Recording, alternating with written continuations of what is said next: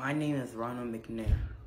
I was born October 21st, 1950 in South Carolina. When I was growing up, I always had a love for music and the saxophone was my instrument of choice. I attended North Carolina A&T where I considered majoring in music, but my love for science overgrew that. I graduated magna cum laude in 1971 with a BS in physics. From there, I attended Massachusetts Institution of Technology. In 1976, I earned my PhD in physics. In 1978, I was picked out of 10,000 candidates to be in NASA's space program. Go. In 1984, I became the second African American to fly in space in the NASA space program.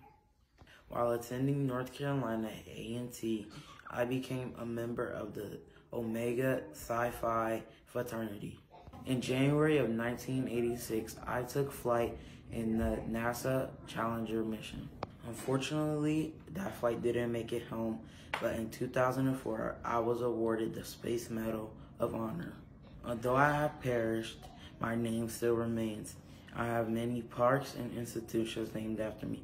There is even a crater on the moon named after me.